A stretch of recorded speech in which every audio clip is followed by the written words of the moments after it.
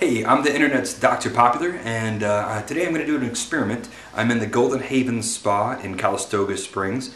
Uh, I'm going to be doing my first soak here uh, of my raw denim jeans. Now, these are Imperial Kings, and this is not ordinary water, this is mineral water, which is um, full of extra minerals, including sulfur. That's one of the big ingredients there.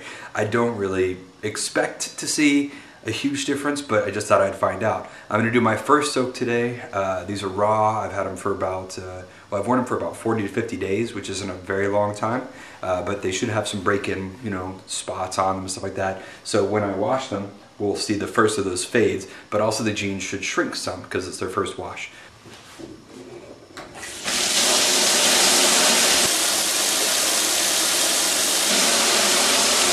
So I've just started filling up the tub with the mineral water. Um, the room is already starting to smell like sulfur.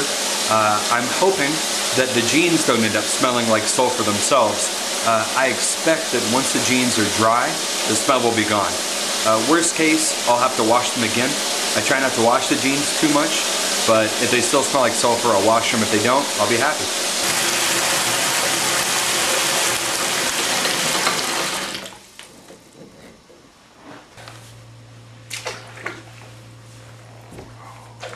Hot.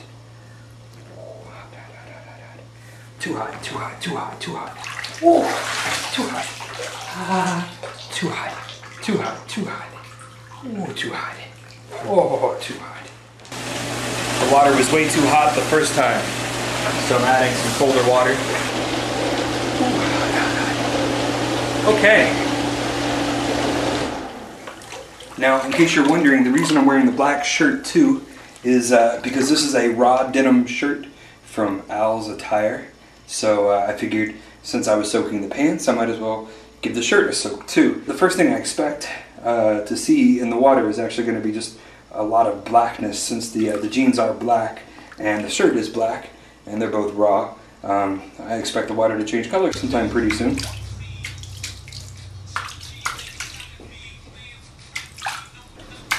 So it's been 20 minutes so far.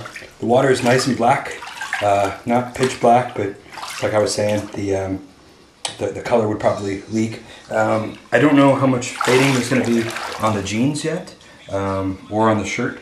Uh, I don't expect a lot, maybe a little bit near the uh, iPhone, a little bit near where my yo-yo is, a little bit in my back pocket. Um, I always have something in those pockets, so really I don't expect any honeycombs or anything like that. I just think maybe there's going to be some light wear on the front. Um, and the jeans probably will just lose their matte finish because the uh, the jeans themselves actually not matte they have like a, a, sheen to them.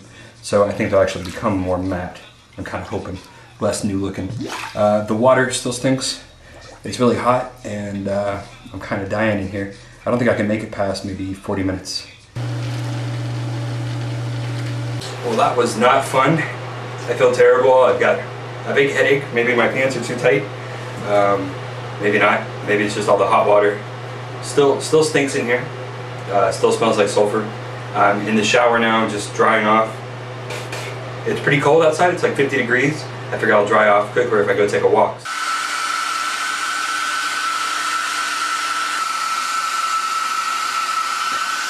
Well, it's the following day, and uh, I spent only about half an hour in the hot tub before I started to get like a fever.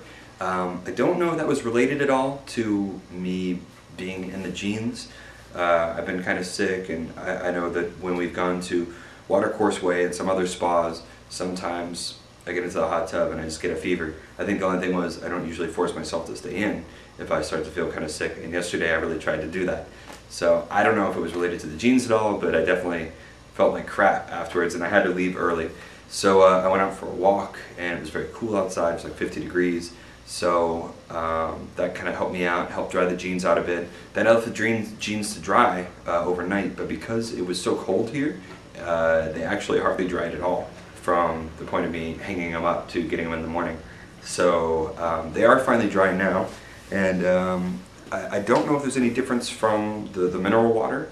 Um, they definitely don't smell at all. They don't smell like uh, sulfur, although I might have, you know, smell fatigue or something, but uh, they seem to be fine.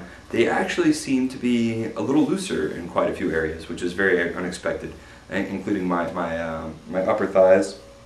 Um, they, they seem like they were very snug before, and now they seem quite a bit kind of stretched out, um, which is fine because that's uh, that's fine. I think they look great. Uh, there's not much fading on them. There's just uh, a little ring from the Yo-Yo Wing and uh, a little ring from the uh, iPhone, but no wallet, no uh, nothing on the back of the knees or anything like that. Well, very very little. So anyway, the end result is it was an experience. I don't think I would do it again. They certainly don't smell um, like sulfur or anything. I don't think the mineral water had any effect on them at all. Uh, I think just being in a hot tub, I would have gotten the same response. But I am glad that the shoe, that the um, the pants have lost a little bit of their sheen.